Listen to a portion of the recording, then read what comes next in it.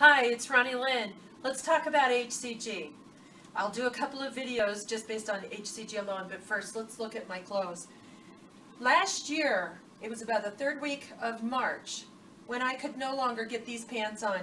These pants are from a suit that I bought in about 2008. It was an expensive suit, so I really wanted to keep this, and when I couldn't fit into this, this is my interview suit. When I couldn't fit into this, I knew it was really bad.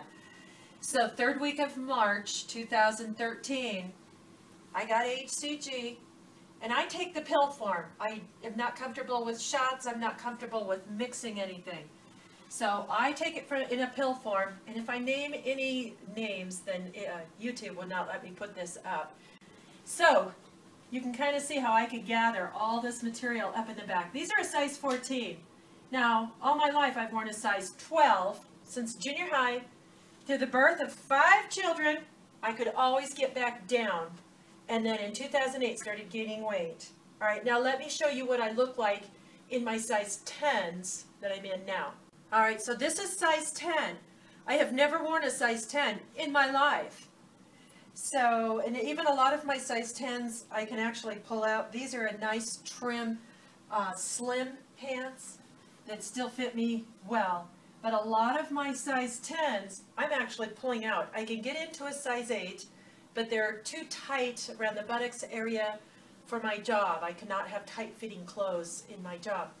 So, size 10, I did not exercise to get here. I am now at the weight that I was in high school, through my 20s. Um, I would waver about five pounds. From where I am now, I would waver about five pounds at times. I did not exercise at all to get to this place. On HCG, you cannot do a lot of exercise. You are only eating 500 calories a day. You are burning your body fat at 2,000 calories per day. There's your workout. Your body is working very hard to process the fat off your body.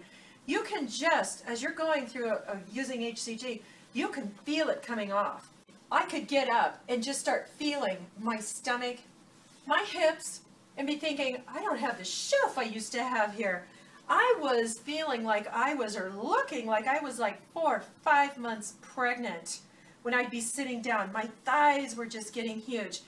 So while I'm on HCG, every day I could get up and just start feeling it coming off. Now I used to have quite a bit of back fat, and I'll show you a picture of me in a workout outfit that was actually after about my third session um, on uh, uh, HCG. But if I pull this tight, I hope you can see, I don't have back fat anymore underneath my bra and things like that.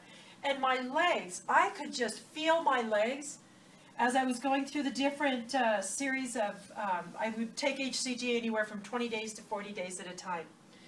Um, and I could just feel on my thighs, I could feel the fat coming off. I was not doing anything more than walking half an hour, maybe five days a week. I have always been a walker in my life. I have always been light weights. I've never done anything more than maybe 10 pounds of free weights in my house. But if you look at my arms, I hope you can tell, from my vantage point, I can see how it just cuts in right here.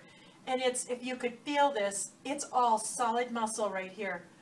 Now I do still have some bat wing going on here, and I'll do another video to show you what um, simple short exercises I'm doing to work on that.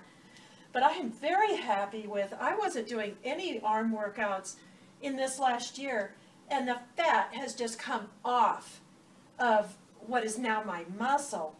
Same thing with my legs. Now my legs, I need to be doing some uh, lunges to do some tightening on my thighs.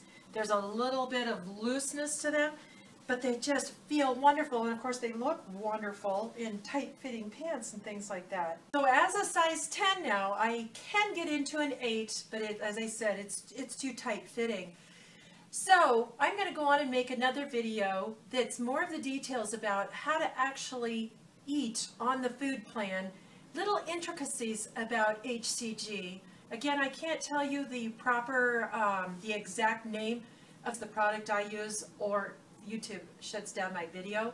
So I'll talk in generalities. I'm going to tell you different food products, but without brand names.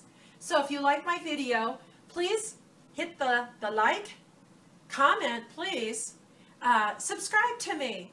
Ronni Lynn. See you later.